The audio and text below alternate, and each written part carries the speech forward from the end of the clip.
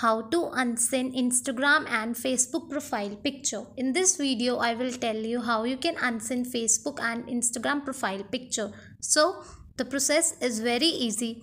You just have to simply follow the steps which I will do in this video and you can easily do it. So, what you have to do now? You just have to first open the Instagram app in your mobile. And here you can see Instagram app has been opened up. And here you just have to simply go to your Instagram profile.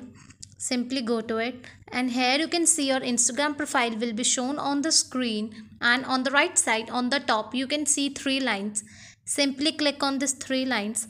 And here you can see settings and privacy. Simply tap on settings and privacy like this. And when you tap on it here what you have to do you just have to simply scroll down your phone a little bit more a little bit more and here you just have to select guides and sharing. Clicked on it and scroll down and here you can see see apps. Clicked on it and when you clicked on it here you will see facebook. Clicked on it.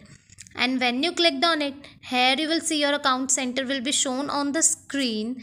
Here here you just have to scroll down and go to the option of account like this.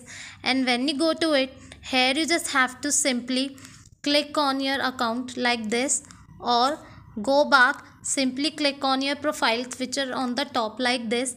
And here you just have to simply select your profile and here like this select it. And here you can see unsync profile info. So you just have to simply turn it off as it has been turned it off in my phone and you have to do the same and it will be done. If you liked my video like share and subscribe